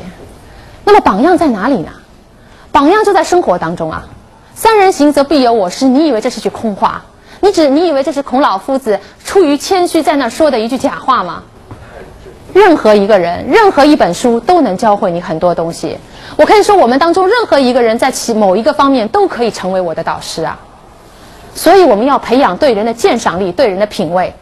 哎，鉴赏力和品味，这是我们年轻人很喜欢的两个词，好像这就跟 smart society 时髦社会直接相关。啊，它使我们想到的鉴赏力、品味，想到的是美酒、华服。美女，啊，然后想到的是很多华丽的场合，一种高端的交往。我们想到的是高雅的形式，这个都是虚伪的东西。这就是我们之前误解了鲁瓦宰夫人的这样一种品质，这是出于虚荣。我们对于鉴赏力和品味之所以如此喜欢，是因为我们喜欢这两个词所包含的那种虚荣。真正的鉴赏力和品味直接跟高雅相关，没错，直接跟美相关，没错。但是你要知道，高雅首先必须是真的，高雅之中必须蕴含着高尚的真挚和高尚的道德，这样的才是真正的高雅。它确实跟美相关，但是美在哪里？你以为美只不过是乔装打扮后的一个虚假的脸蛋吗？并非如此，美就在生活当中。真正有鉴赏力、有品味的人，他在日常平凡的生活当中，能够欣赏到美、热爱美、学习美。当一个人真正用美的心灵发现美的事实的时候，美的对象的时候，而且去欣赏它、热爱它、学习它的时候，你不觉得他跟他那个美的对象已经合成了一个更高的美吗？他已经成全了美的本身啊！啊，因为我记得爱默生说过一句话：只有美德能够像磁石一样吸引出美德。只有智慧能够像磁石一样吸引出智慧，只有美本身美的心灵才能够像磁石一样吸引出美的世界啊！所以很多时候你发现不了生活当中的榜样，是因为你根本不不关心生活。你之所以生活不堪忍受，是因为你这个人根本一点儿也不美。真正的美，它一定跟善直接相关；真正的美，它一定是真实的。啊，所以什么叫做学习？学习的最终目的就是要以一颗清醒的头脑，从善如流啊！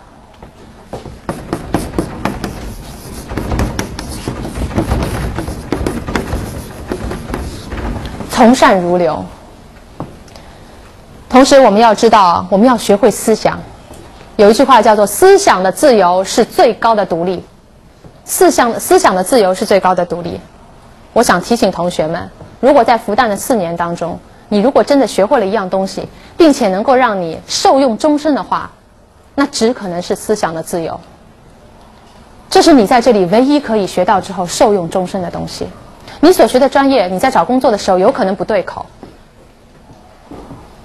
也许你也并不喜欢，将来有条件的时候你就会跳槽跳掉。这些东西未必长久，但是你在这里能够学到的是思想的自由。啊，所以在这个复旦的校园里面，一个真正合格的老师，他不会去压抑你的任何思想。学生的思想就如学生的实验一样，它可以出现各种结果的。对于这样的结果，我们应该的是引导，我们应该的是疏导，而不是压抑。啊，这是复旦之为复旦的自由的精神和独立的人格之所在。但是你要知道，在进入大学之前，我们很少有决定是根据自己的思想来判断的，我们是由于我们的习惯在做判断。啊，当我们看电影的时候，我们去看网上的影评，让影评家们来替我们判断；当我们吃东西的时候，我们需由美食家替我们判断；当我们选专业的时候，有老师跟家长替我们判断，由社会的标准替我们判断；当我们找对象的时候，男朋友、女朋友的时候，还是自己判断的。等到一旦落入一个婚姻的这么一个决定的时候，很多时候你去衡量一下，不久的将来大家就会经历这一步的。你会发现，根本不是由你自己的思想在判断，这个时候思想不重要，面包更重要，面包更重要。而且那个时候你会有一个合理的解释，啊，金钱不是万能的，但没有金钱是万万不能的。这样一句话毒害了多少自由的思想啊！但是你要说，老师啊，怎么样保持思想的自由呢？思想的自由何其难得，如何保持？啊，我在禅宗上面找了几句话，我觉得挺有意思啊，很简单。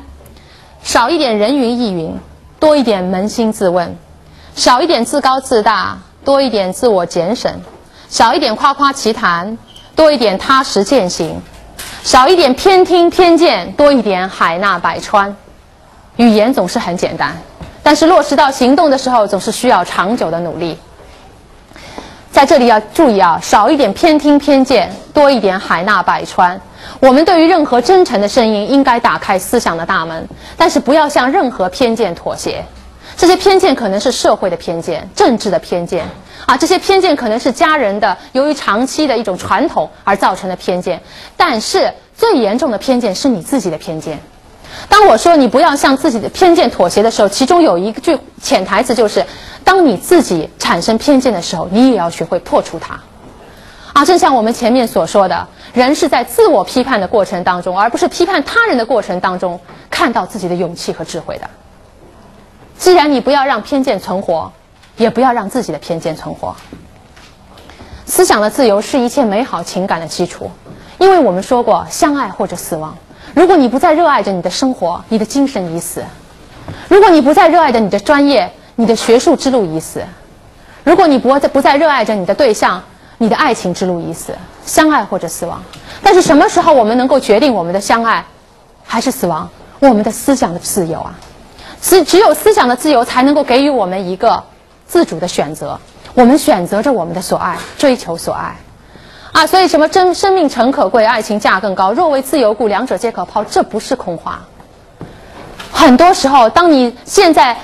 想当然的这个思想的自由沦丧的一天，你会发现连肉体的存在也已经没有必要了。它只是一句需要不断去摆脱的累赘而已。啊，在这里我可以引用一个我很喜欢的作家斯蒂芬茨威格的一段诀别词啊，他是最后自杀，跟他太太两个人，因为他是个犹太人，生活在维也纳，他的父亲是犹太的贵族，而且呃富有到什么程度呢？就是即使以当时的全世界的财富。来进行排行的话呢，他父亲也是富可敌国的，啊，然后就是这样的一个人，他是一个人道主义者，一个世界主义者，一个作家，一个传记家，他写过哎，也最有名的小说就是一个女人一生中的二十四个小时，或者一封来自陌生女人的来信，啊，还有他写过一个自传，他写过很多传记。啊，我觉得相当精彩，大家可以去搜一下他的书，写的很不错的。他写的自传是《昨日的世界》，写完《昨日的世界》不久，他就跟他的太太在他们逃亡的那个国家巴西自尽了。自尽完之后，巴西给了他一个国王般的葬礼，因为他在人类的文学领域和人类的精神自由的领域，他就是一个当之无愧的国王。啊，所以在临死之，他之所以要选择自尽的原因，是因为他的自思想已经无法自由，精神已经无法自由。他的自己的母语德语所通行的国家当中，他所有的作品被付之一炬，而且他每天都过着流亡的生活，没有任何的身份，没有 identity。所以不要对中国现在抱怨太多。你现在还有个身份，等到有一天你真的成为一个亡国奴的时候，你没有身份了，你也许更能体会他的心情。啊，谈短，我跟大家念一下啊，在我自愿和神志清醒的同这个世界诀别之前。一项最后的义务逼使我要去把它完成，向这个美丽的国家巴西表示我衷心的感谢。他对我是那样善良，给予我的劳动那样殷勤的关切。我日益深沉地爱上了这个国家。在我自己的语言所通行的世界对我而言业已沦亡，和我精神上的故乡欧洲业已自我毁灭之后，我再也没有地方可以从头开始重建我的生活了。年过花甲，要想再一次开始全新的生活，这需要一种非凡的力量，而我的力量在无家可归的漫长流浪岁月中业已消耗殆尽。这样，我认为最好是及时的和以正确的姿态。来结束这个生命，结束这个认为精神的劳动一向是最纯真的快乐，个人思想的自由事实上是最宝贵的财富的生命。我向我所有的朋友致意，愿他们在漫长的黑夜之后还能够看得见朝霞，而我一个格外急焦急不耐的人，向他们而去了。斯蒂芬·茨威格，一九四二年二月二十二日。精神的自由才是自由的实质。精神的自由让人之为人，精神的自由才没有使人变成一个真正的奴隶。所以，还不过在这里还要提醒大家，自由不等于放纵啊。我们第一节课的时候就说过，自由是取舍。我们很多时候取我们所要的，舍弃我们所不要的。即便你什么，如果你什么都想要，那只能只能证明你什么也得不到，因为贪心的人往往什么也得不到。所以大家在取进行取的时候，你要扪心反躬自问一下：我要舍什么？这个东西我舍得下吗？舍就是丧失，丧失都是让人很难受的一个过程啊。所以你要知道，自由它其实分成主动、被动。什么叫做被动的自由？有很多东西的是没有办法突破我们的自由边界的，比如说法律，我们不能在法律之外误导我们的自由。比如本能，我们不可能不吃东西，我们没有这样的自由，因为我们的机体需要这样的滋养。比如说道德体底道德底线，道德底线是我们内心深处潜伏的一个无声的障碍。当你在做很多事后很多事事的时候，它会冒出来告诉你不可为呀，不可为。但是我们也有主动的自由，在法律之内，在本能之内，在道德底线之内，我们选择我们想做的，并且舍弃我们为之要付出的代价。所以康德有句话说的很好啊，他说：“自由不是你想做什么就做什么，那是兽性；自由是你不想做什么的时候，你可以不做，这是理性。自由是带着枷锁在跳舞，你如果没有枷锁，你会飞得不着调的。所以我们每个人要做的是带着枷锁，充分的跳舞，跳得非常精彩。最后说一下，学会生存。”这个学会生存，它有一个原则。这个原则，我希望同学们过多少年之后都还得记得。生存不只是自己的 live，我们固然要 learning to live，但关键你也要 let live。我要活，我也让人活；我要活得有尊严，我也保证别人活得有尊严；我要活得精彩，我也帮助他人活得精彩。这就是学会自生存。我要活，我也让别人活。这就是一种利益均沾，你要关照到别人的生存啊。首先，我们要说到自己要活，在这里要提醒同学们，不要去在没有任何必要的理由的情况下损耗自己的健康。啊，不要去通宵达旦的玩，啊，不要过多的熬夜，不要过度的工作。你要知道，很多时候这些东西只不过是作为隐患存在在那里，有因有果，你任何的因，你都会带来必然的果的。你之所以会跟我说，也许你会说啊，陈老师，你管不到这个吧？那是我的自由，我愿意，你愿意，我知道我是管不到你，我只是提醒你。你之所以现在愿意的原因是你现在还没有体会到这样的因所带来的恶果可能有多严重。每一次灾难之后，所有活着的人都会说，活着是一种恩赐。每一个残疾人，你如果给他一个梦想，他都会要求健全。同学们在座的各位都是健全的。你就不要浪费和损耗你们的健全，要珍惜这种健全，不要只会做一个远视眼，要珍惜你所拥有的一切美好。很多时候，由于你的损耗，将来的结果会很严重。将来当你身体出现任何危机的时候，这个时候你会后悔。而人，什么叫做我说人都是贱的？怎么样才是高贵的人？不贱的人，那就是你永远不做让自己后悔的事。凡是你会后悔的，一律不做；凡是你做的，你就绝不后悔。所以不要损害自己的健康。啊，同时说到这个 let live，let live，我记得有一个狄德罗的故事。狄德罗是法国一个具有天赋的、最具法国天赋的人。然后他那个时候呢，就是很受社会各界的尊崇嘛。但是有一个抄写员呢，他是个贫穷的抄写员，这是我看来的一个小故事啊。然后他就写了一一一篇文章，专门讽刺这个狄德罗。你要知道，这就是你成为社会顶端的一个代价，那就是你会成为众矢之的。人们在写文章批判你的时候，他会因为批判你而受到重视。所以这么一个抄写员呢，就选择了狄德罗作为他的一个批判对象。但是他的文章投不出去，为什么？因为他不够权威，啊，名不见经传，怎么办？这家伙也实在是很有本事，竟然去找狄德罗帮忙。最后，狄德罗做了一件什么事？他为他的那篇讽刺自己的文章做了题词。因为这份题词稿件被收纳了。并且这个抄写员获得了五百二十路易，够他好长一段时间的生存。这就是 live and let live，这样的人不多啊，不多啊，何等的大气啊！啊，然后还给大家推荐一部电影啊，这部电影是我见过的最小制作的电影，马上结束啊，《十二怒汉》，最小制作的电影，夯不啷当加起来一共十二个角色。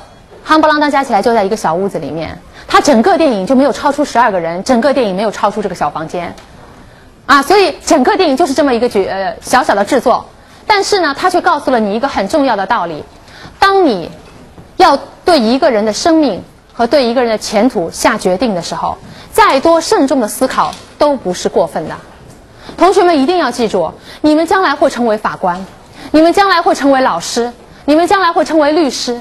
你们将来会成为各种各样的社会各界的人才，司法人员。